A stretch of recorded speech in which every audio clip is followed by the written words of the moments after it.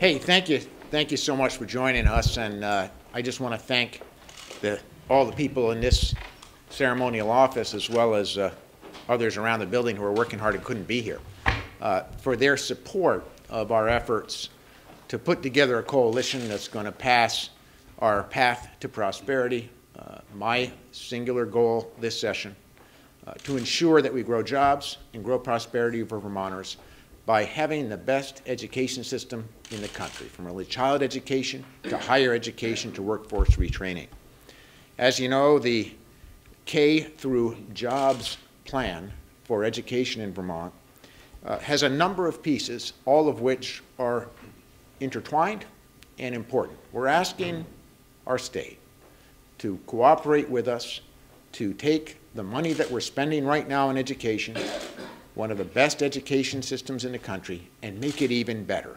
Not by spending more money, but by thinking creatively about how we can get better results, move more kids from poverty beyond high school, and ensure that we provide our employers who are hungry for workers with science, math, engineering, and technology skills the workforce that they need so that we can prosper in the 21st century. I'm joined today by an extraordinary coalition of people who actually do the hard work, and I just want to mention them briefly. Uh, we have with us, uh, you'll hear shortly uh, from Martha Allen, President of the National Education Association of Vermont. Uh, with us also, and speaking, Martha will be speaking for Steve Dale, Vermont School Boards Association, for the association. Ken Page is here with the Vermont Principals Association, Jeff Francis, the Vermont Superintendents Association. These are all folks that I've met with uh, privately over the last uh, several weeks uh, to forge and help make sure this package uh, becomes a reality. To Lisa Ventriss, the Vermont Business Roundtable, who's very enthusiastic about our proposal, thank you for being here. Betsy Bishop from the Vermont Chamber of Commerce, invaluable to have business partnering with us to get this job done. We have our chairs of the Education Committee, Senator Dick McCormack and Representative Joey Donovan. I didn't see Joey, but I know she's here. Come on over, Joey. Don't hide in the corner. It's not like, well. Wow. Uh, uh, President Joyce Judy, CCV, incredibly important partner in this effort. We have Scott Gillies here from Vermont Student Assistance Corporation. Without VSAC, we wouldn't be doing our job. Susan Stitely, you'll hear from shortly, Vermont Independent Colleges. My partner, Secretary Armando Vilaseca, and my partner, Secretary Lawrence Miller, our job secretary. Annie Noonan couldn't make it, but I know the commissioner wishes she could be here. She's an integral part of this. And of course, the speaker and the president pro tem, thank you for your support. What's the plan?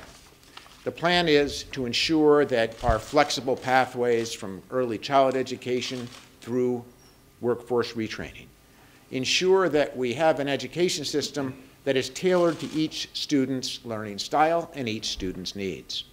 As you know, we've proposed a number of initiatives that will help make that happen. The first, the, the single greatest investment in early childhood education in the history of Vermont, $17 million. Ensuring that we have in elementary school the flexibility and the plan for each student to ensure that they get beyond high school and succeed regardless of income. Uh, ensuring that we have dual enrollment and early college, and I'm going to talk about that in a minute. And the investments that we're making in higher education to both buy back any tuition increases at UVM and the state colleges for next year's tuition, but most importantly to ensure that we are offering incentives for STEM graduates to stay in Vermont by paying their entire last year of college tuition if they stay and work in this state, or their last semester if you're accomplishing an associate's degree. I want to talk a little bit about the proposal right now that we've been working over the last few days that this coalition's been so supportive of to deliver on our promise of dual enrollment in early college. We have worked out an agreement with all the parties that will speak shortly to be able to make dual enrollment work, and we know it failed last year and failed in some past years because the coalition wasn't all singing from the same hymnal. But we are now. And what because of our extraordinary partners in higher education in this state, both public and private, working together with our high school, the folks who are delivering uh, high school, public high school education in this state, we have come up with a system where any high school student will be able to take a college credit course in their high school for $150. Second, that any high school student in Vermont will be able to take a college course at one of our many campuses, state colleges, UVM, or any private institution that cares to participate, for $350 a student.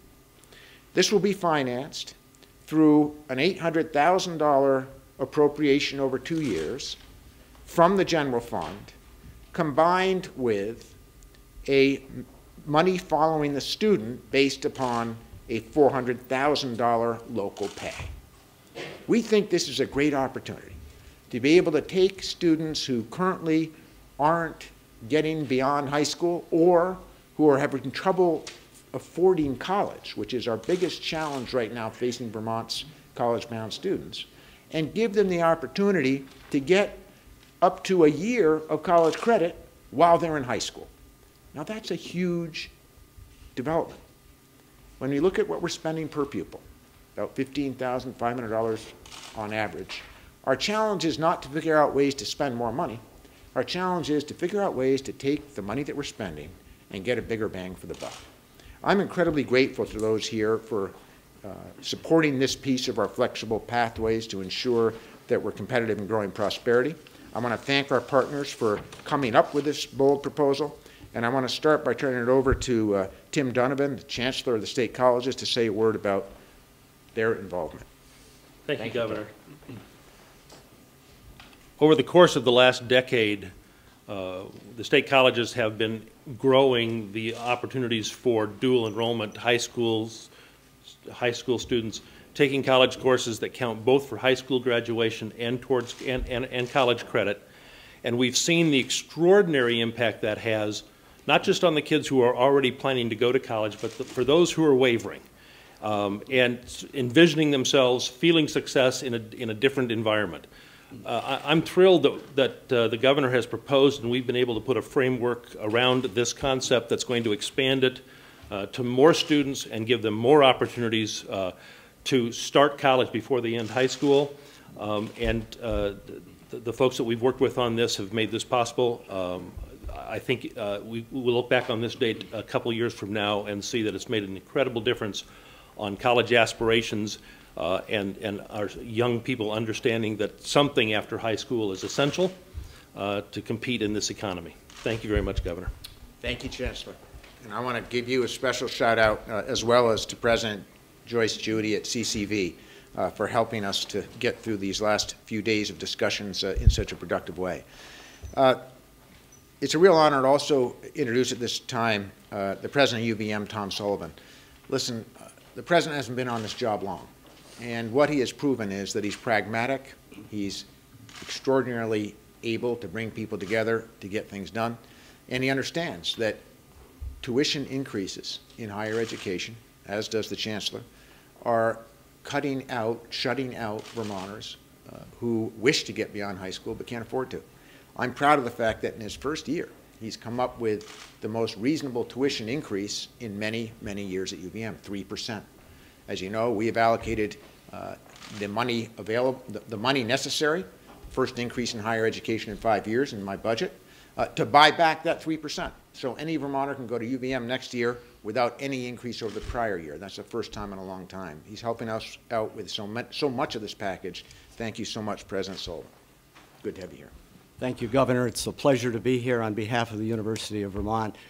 And I want to salute you on this remarkable uh, concept. It's inspiring, it's strong, and the vision that is what you're announcing today, this early uh, education, college education opportunity, builds on a platform that the citizens and the leaders of this state have already begun.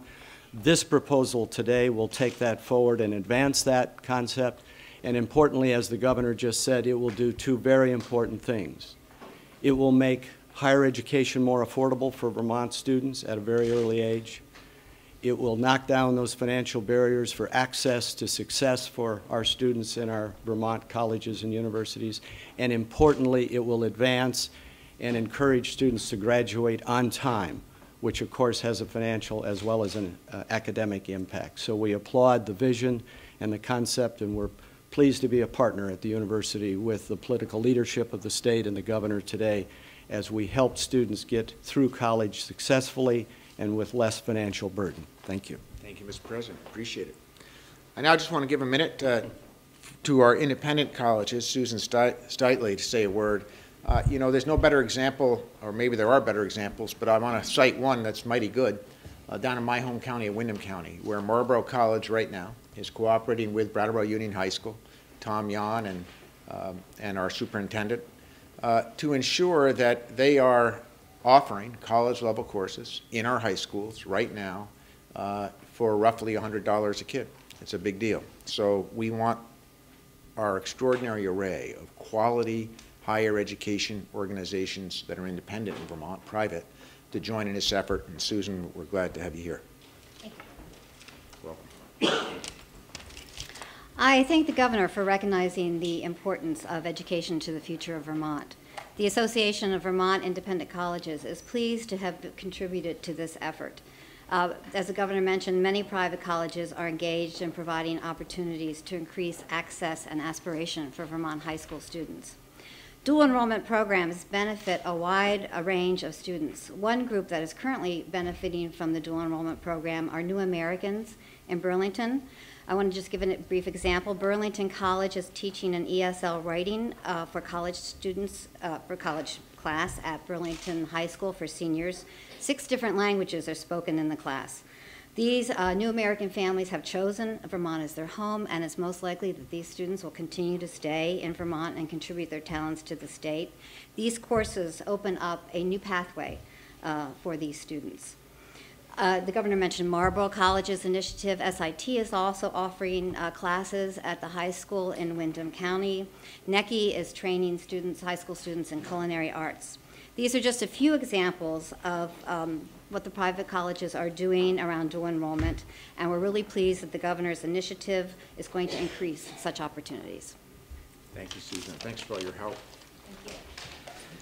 Um, As I mentioned, our partners at the National So- Education Association, Vermont School Board Association, Principals Association, as well as our Vermont superintendents have been tremendously helpful to us uh, over these last weeks in, in putting together a plan that we think should pass.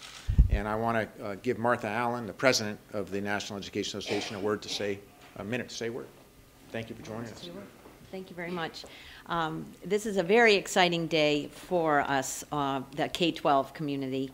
And I just want to mention when the governor first was elected, we were talking about education. And I said, you know, Governor, we've got one of the best education systems in the country. And he said to me, why can't we be the best?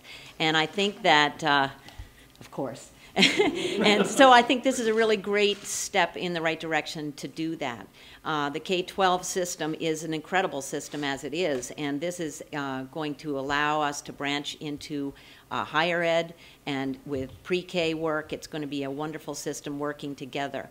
Uh, I do hope that with this work, our state, our the citizens in our state will really value our education system so that our culture changes and our students will understand and uh, aspire to um, higher ed to further their education in whatever way they see fit. And having these opportunities for students who might not have had these opportunities in the past is fantastic.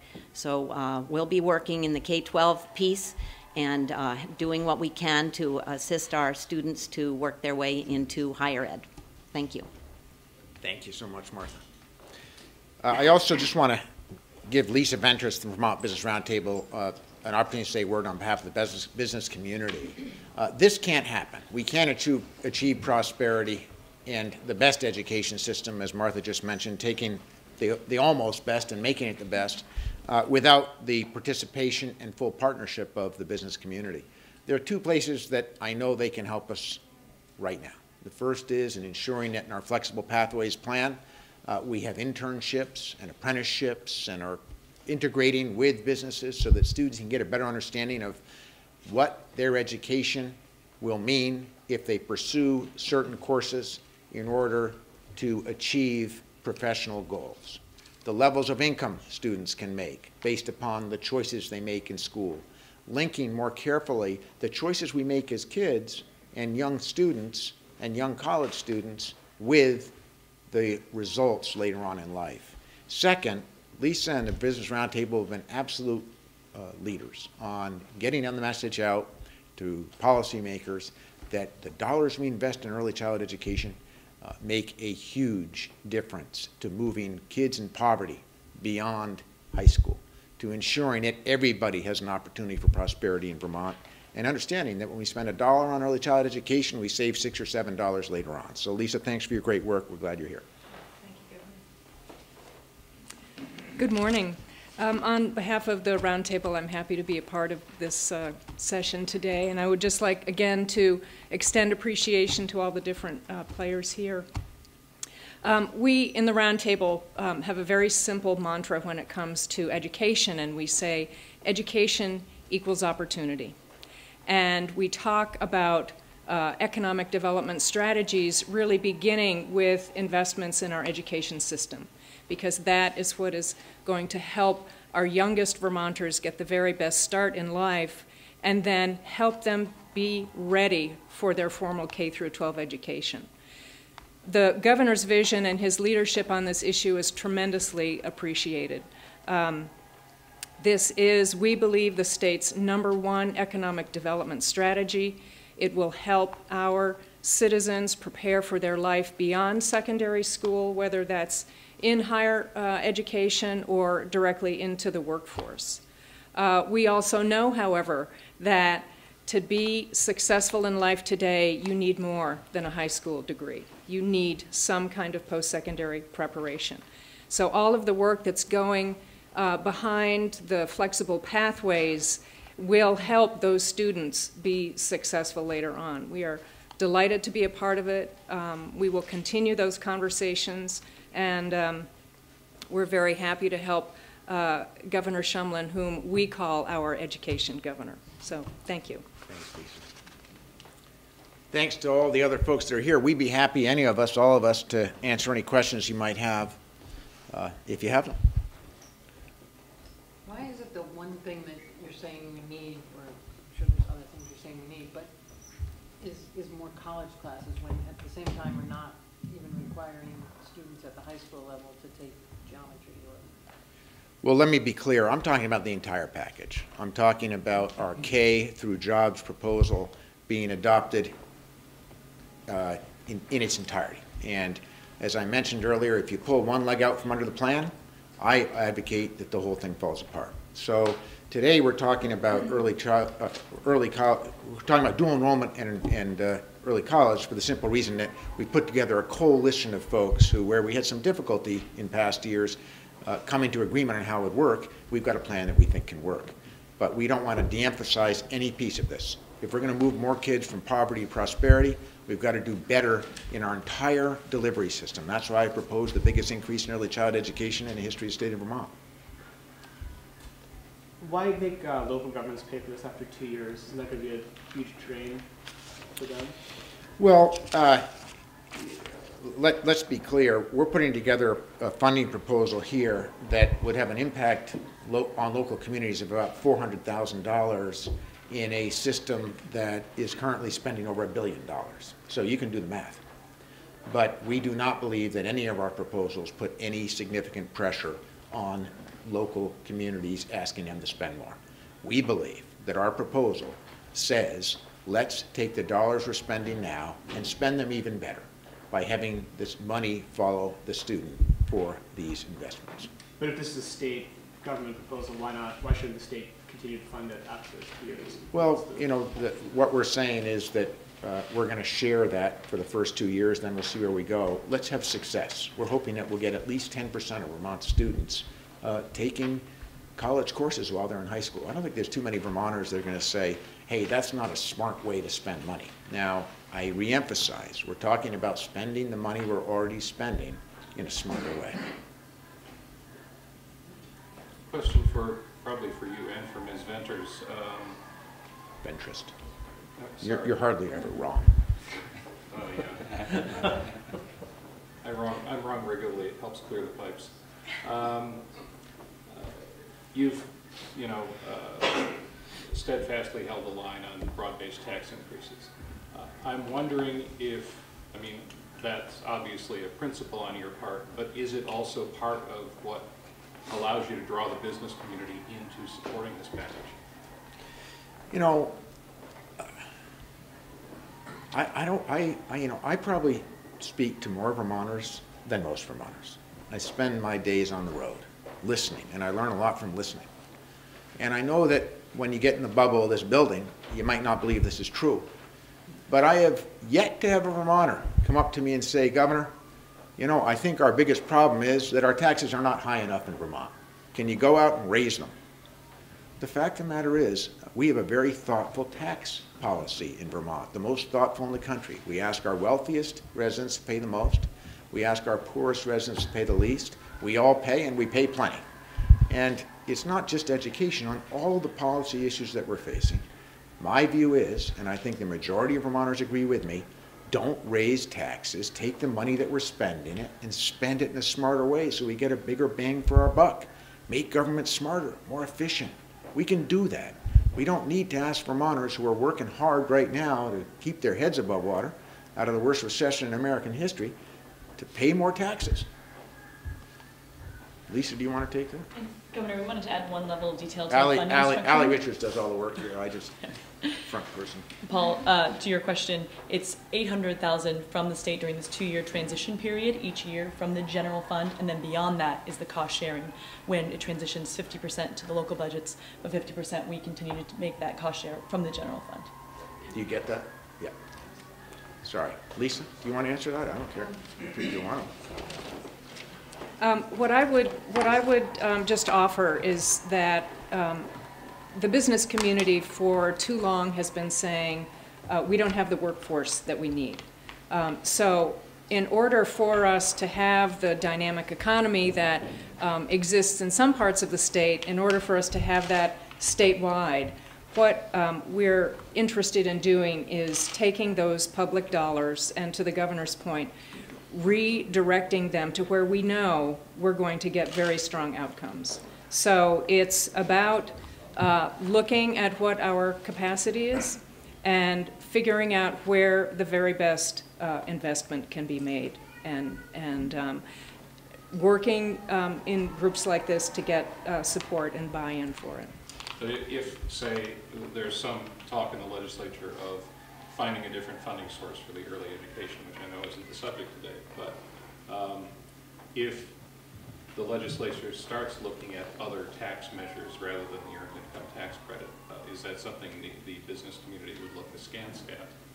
Well, we certainly would be involved in the conversation. Uh, Economics 101 says if a business can't find enough workers, it should rate, it should pay more. Is is that accurate? Um, I think the um, equally important strategy is to figure out how to build the workforce that you need. If you, if you are trying to recruit and retain people, um, then uh, investing in their ongoing education and retraining is, is one area. Or working um, to identify other partners that can help you develop that workforce. So it's readiness, it's getting those students to complete their education so that they can become um, good qualified students to continue in some kind of post-secondary um, education. What type of jobs, is the work, you know, are you trying to get people into through this program? Are there any particular areas? Um, It's, it's really um, across the board, but what we're hearing most consistently is that it's science and technology and engineering and math. So it's, um, and some people use the acronym STEAM. Um, But nevertheless, it's preparing students to be successful in a very um, technical uh, workforce that can compete globally and be working out of Vermont um, um, on a global platform. It seems to be focused on building the workforce kind of internally or indigenously but we just saw uh, that Vermont's uh, population, which has been bumping along at about zero growth for several years, is now in the negative for the first time in uh, a long time.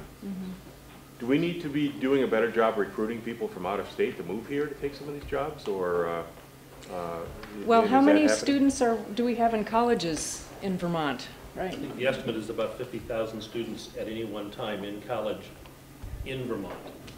So we are importing a lot of them um, every year. So here we have this great um, higher education um, community, um, and those are potential workers um, that we need within the business community to have relationships with and, and help them recognize there's a place for them to work after they graduate. Can I just give you a one-liner on that? Because Lisa did a great job of explaining it, but, you know, it's this simple. The biggest challenge to prosperity in Vermont is having enough trained workers in science, math, technology, and engineering to do the jobs that are out there. The second biggest challenge is the simple fact that we're not moving enough kids from poverty beyond high school. And all of these jobs require training beyond high school. So it doesn't take a rocket scientist to figure out what you got to do. You got to take the dollars that you're spending now, spend them better by getting better outcomes in terms of what we're doing already. Let me go back to Economics 101, which tells us again that the biggest challenge to prosperity is usually not enough demand for goods and services. If we had enough demand for goods and services, if these, and if some, again, if, if some of the companies paid higher wages and salaries, they would get the workers, and if we had more demand, But you're missing the point, my friend. Listen, if you can't do basic math, if you can't run a computer, if you don't have the training to run the equipment or to do the jobs, it doesn't matter how much they pay you, you can't get the job done. but there are people out of Vermont who have those skills who would come. Well, you actually, if you talk to the other 49 governors, they'll tell you that they're dealing with a similar challenge, but their climb is even higher because their schools aren't as good as ours. So all we got to do in Vermont is take a great system and make it even greater. The other challenge for the other states that are spending less money and doing a less good job is they've got a much steeper hill to climb. Vermont's not alone in this challenge. When I go out to talk to folks in California, the folks that are running Google and Facebook and the rest, and you ask them, what's your biggest challenge? They say it's this, finding enough trained workers to do the work we have, to have the science, math, technology, engineering, STEAM skills to do the job. So if we simply believe that by graduating students who don't have the skills to do the job, if we just pay them more, everything will be beautiful, I think you're missing the point. If you can't do basic math, you're not going to be able to do the job regardless of how much we pay the employee. Governor, um, I, uh, I definitely would concede you talk to more real Vermonters on a given day than I do. Um, but within this building, um, I haven't heard a single legislator, um, certainly not a legislative leader, saying they support your plan to pay for this program, which they say they like, uh, but to pay for it the way that you suggest, which is to reduce the state match to the earned income tax credit. Um, does that have any legs at all? And if so, who's on your side as far as the funding source?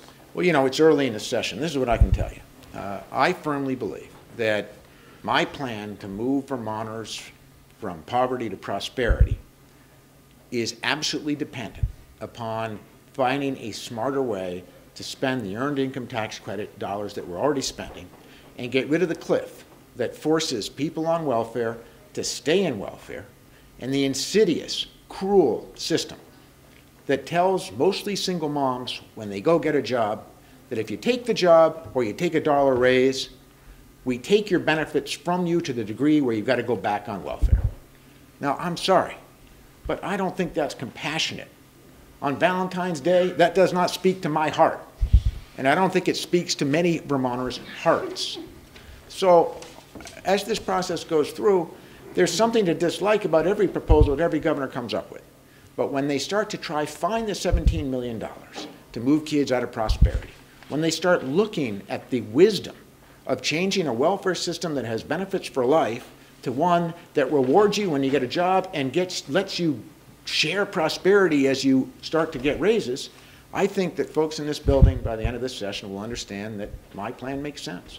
Is there anyone right now, any legislative leaders? Well, you know, I'm not going to play that game because then you're going to run to them and say, you know, and we're not going there. My job is not to worry about how many legislators are with me now. My job is to worry about how I get the bill to my desk to sign. I will get it there.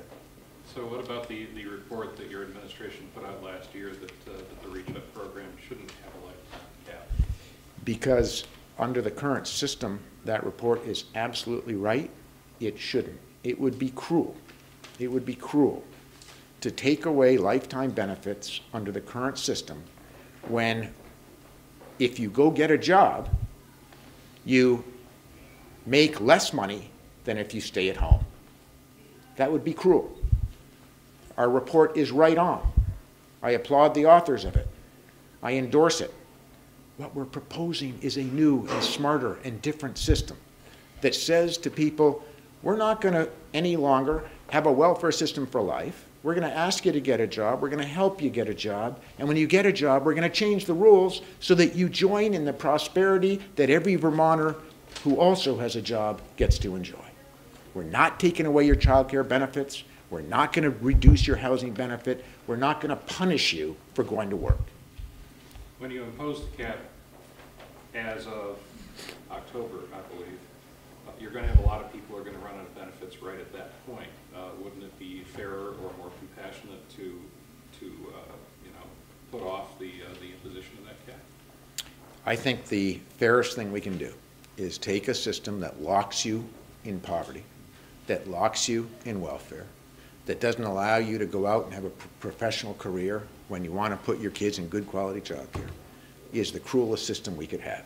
And the faster we can move from that, the more compassionate we'll be. What would you say to those who don't feel like it's the program that's locking them into poverty, but it's the, the current economy in the state? And But, that you know, by this is cutting what, program- you know, I've heard the argument, and this is what I say to that. Listen, let's celebrate the fact that in the last two years, we've seen a sea change in Vermont's economic outlook. We really have. I know it's still tough. We're coming out of the worst recession in American history. But here's the evidence. Here are the facts.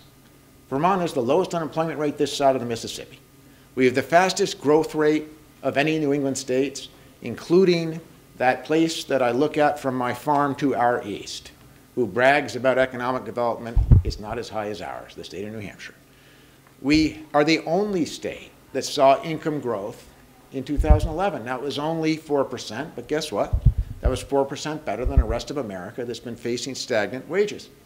My point is, if you talk to the employers, they've got jobs. I sat next to Janette Bombardier from IBM at dinner the other night, and she said, we can't get qualified people to do our entry-level jobs. We're not now talking about the two-year degree. Our entry-level jobs is the first time in the history of IBM Essex that we haven't been able to have a queue of people who are here to do our work. We've got jobs. We've got jobs. We need to change the system that is putting barriers in the way of people who want to work. And that's what our current welfare system is doing. Question about the uh, last semester, um, part of the plan that you talked about. Is that, is that just for Vermonters, or what happens if someone comes from Massachusetts, attends the University of Vermont, and then decides to stay and work in Vermont? We'll take them. We'll take them.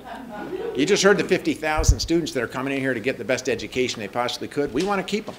If I asked people to raise their hands here of how many of them didn't grow up here but came here because of education, just raise your hands. Look at that. We want to keep more of them. Even my Secretary of Administration, we'll keep him.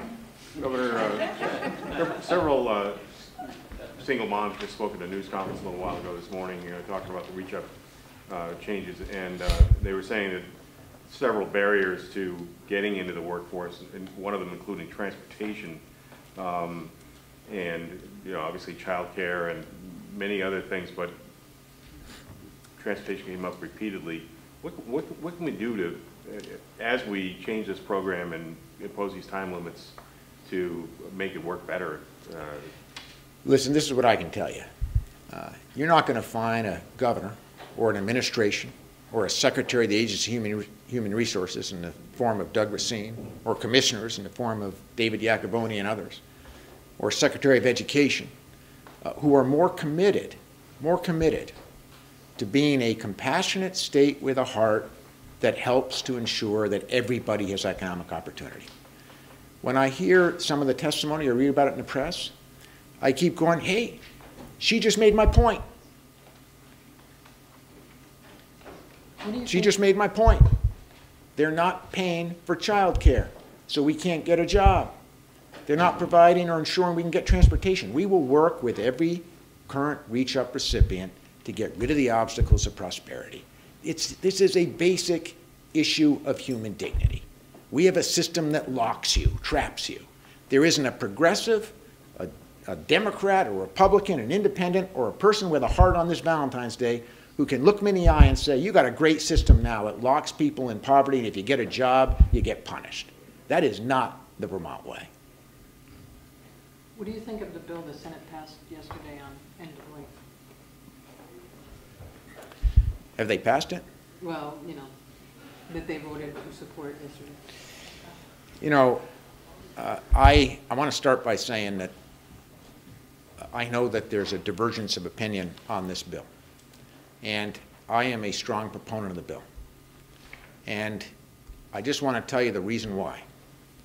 I hadn't thought about this bill much until I was running for governor, and I was having one of my many conversations with Vermonters, and I was going into, in a Democratic primary, uh, one of the many primary discussions that we had, debates, whatever you want to call them. We had over 60, and I can't remember which one this was, but it was in Ludlow, Vermont. And a woman came up to me and said, uh, Governor, where do you stand on, on uh, end-of-life choices? And I said, why do you ask? And she said, I ask because this is an issue that I care about deeply. I'm not usually a single issue voter, but this one really matters to me. I've got ovarian cancer. It's one of the most painful ways that you can die. I have outlived my life expectancy by my doctors at Dartmouth by two years now, and I'm going to continue to beat their odds. For the simple reason that I love being on this earth, I love my grandkids, I love Vermont, but most importantly, I'm the caregiver for my husband who has stage four Parkinson's. And when I go, he's got to go into a home, which is his biggest nightmare. So I'm asking you to not, in my last 10 or 12 or 14 days of life, when I'm suffering from extraordinary pain, I'm asking you not to tell me how to spend those last days. And I won't. Now, the bill that the Senate first discussed accomplishes those goals. It's very carefully crafted. It follows the Oregon model and close to the Washington model. It's not reinventing a wheel. I think when you pass an amendment that's not thought out, that's written on the fly, that you're going to get under, unintended consequences that don't put the protections in place that Vermonters feel strongly about in this transition to a new system. So I support the bill as it was originally introduced. I'm hopeful that the Senate will send it over to the House so that the Speaker and the sensible House can put it back in shape. So that's what you'd advise, is they just get it over with, pass it along as it is, as it I, I want to see the bill come to my desk, and I think the best likelihood for it to come to my desk in a smarter and more compassionate and more thoughtful form would be to let the House take a little work at it. Governor, there's a proposal to uh, purchase a new state airplane. Is your administration part of that discussion at Well, you know, let's talk about the airplane. Uh, We right now are operating a, a airplane that's 50-some years old. And uh, we need an airplane for two reasons. The first is it's required to undertake the work that's required of the Agency of Natural Resources to air surveillance, which they do a lot of. And it's also necessary to operate our, for our aviation program, we operate a lot of airports. So we at least, we need at least one rig that flies. Now, uh, I've used that plane from time to time. And, uh, you know, I don't have the fear gene, so I'm all right. Last time I was in it, the door flew open. I pulled it back, wanted to see what the gas tank was reading, and so we knocked the, the uh, gauge a few times, and we couldn't get it to read. Now, I've got confidence that we filled it up before we left. All I can tell you is, at some point, at some point, we're going to have to confront the fact that we've got a 50-year-old plane, that the doors fly open when you fly it, that the gas gauge doesn't work, and the rest. My staff flips out every time I crawl into it. I, you know, I have confidence in the airplane, and we don't have to do it this year, but at some point we're going to have to deal with it, and that's, I think, what the agency transportation suggested. This is probably not the year, but we will have to deal with it going forward. We need, we need a plane that flies. Can you explain the whole flip the door flying open, was this in air? Yeah. Tell us more. Listen, I- I- Pulled out. This, this I- will knock I was not. announcement out of the water. I just want to make clear that Were you wearing a seatbelt? I did have a seatbelt. You were fully dressed? I I was not hunting for bears. Or drinking Gucci. So this is not the year you're drink conceding that this, this is not the year? Listen, I don't much, I, this is not, listen, I got a lot of things to get through this building this year. This is not one of them. So does that mean you're withdrawing the request, or you're just not going to push for You it? know, you know, team, I'm running a five billion dollar budget. We employ seven thousand plus people.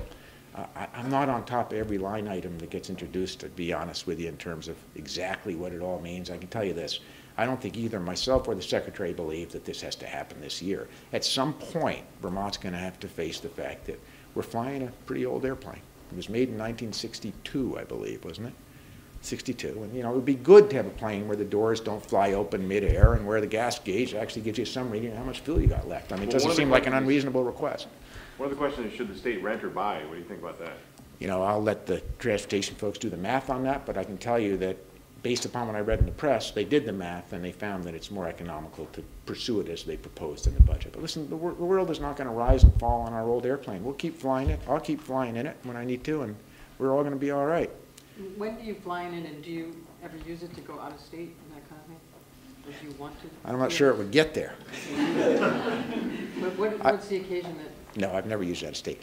Uh, The only time I've used the plane, uh, and, you know, some governors have dared to use it and some governors haven't. Uh, I do know that my friend Brian Dubie used to use it as lieutenant governor. Uh, But he probably is better at landing planes that don't, planes that don't have an engine than most of us. But uh, this is, this is what, this is, I've used it as an example, I'll give you an example. When uh, we were clipping the ribbon on the new bypass in Bennington, Vermont. It was a big deal. We've been at it for, what, 10, 12, 20 years talking about it. We finally did it.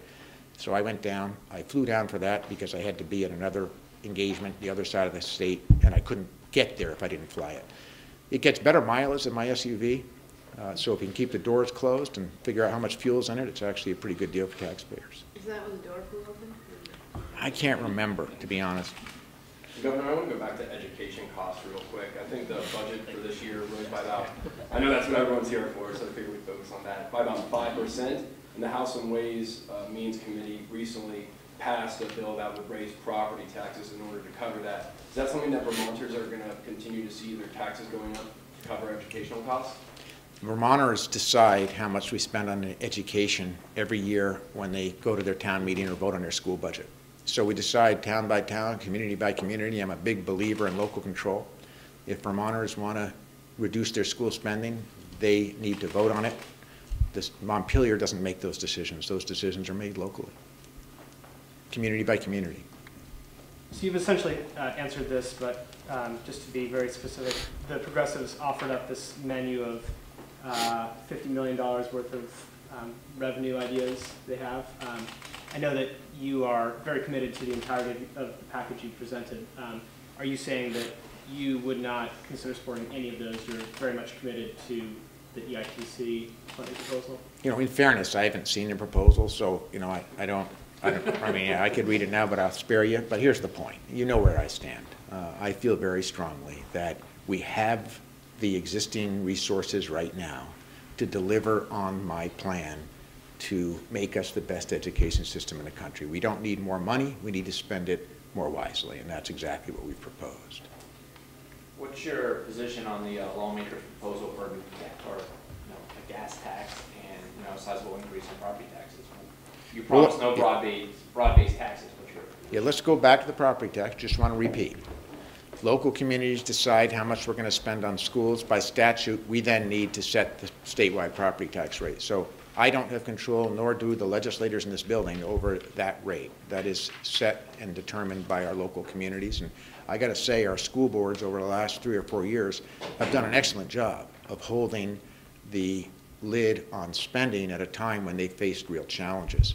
So, you know, this year isn't as low as we'd like, but they have been headed in the right direction. They're working hard, and I think they're doing a good job.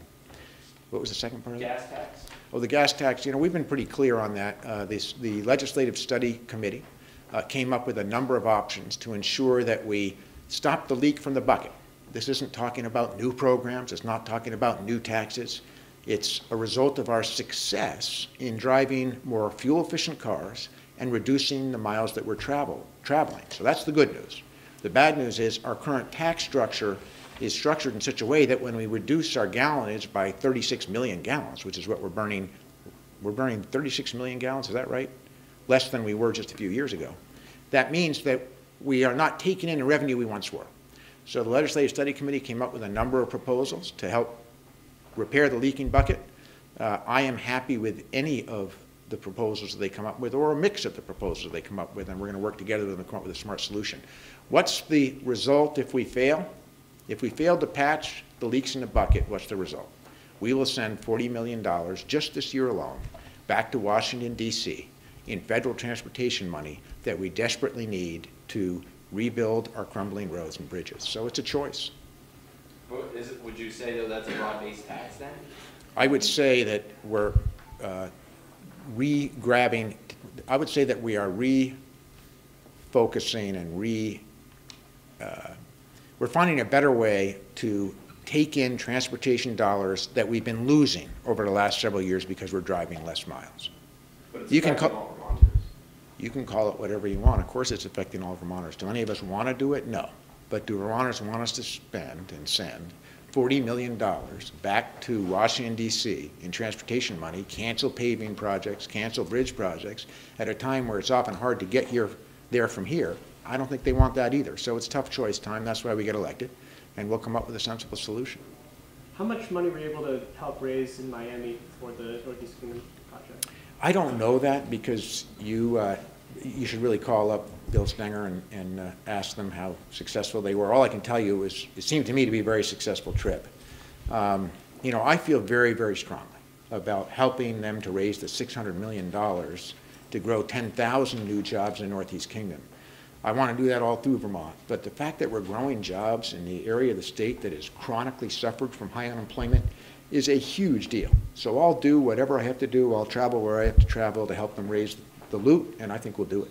And you're comfortable spending as much time out of state as you are planning to do, going to Brazil, then to China, you're spending a lot of time down in DC for the DGA as well. Um, Do you feel like at a certain point you might be spending too much time out of state? I don't know, from the sound of legislators around here, they just assume I get out of here more often. Did you, did you stay in state specifically because the Senate was voting on this debt bill? Did you change your plans because of the, the Senate's schedule? No. Gonna go to? No, I was going to have a, I, I, there was a White House meeting that was scheduled that got delayed, so that's why I didn't go to Washington. Does the fact that Mr. Stenger asked you to go indicate that he's having some trouble raising enough money? Absolutely not. And I just want to repeat, this isn't a new thing. I went last year on a trip to Miami, same city, same state, uh, to raise money for the existing $250 million worth of projects that they had going there. So this isn't a new thing for me. I'm just going to do more of it. And I want to be clear, uh, I am offering my services to other EB5 projects. Uh, There's huge potential to raise the big, one of our big challenges in growing jobs in Vermont is capital. And if you talk to any entrepreneur, any business person, you know, they'll say our big challenge is coming up with a loop for our good ideas. Now, Vermont is doing a better job of harnessing the EB5 money than any other state in the country. That's because St. Patrick Leahy invented the program. We're the only state that our entire state is the EB5 region. And we've got a huge opportunity here to grab smart dollars to help grow jobs in Vermont. And as you know, what's my singular focus? Jobs and prosperity. So this is a great way to get there. So I'll travel, you know, as much as I need to to do it. I will not use that old Cessna to get there, to Brazil. Hey, thanks so much.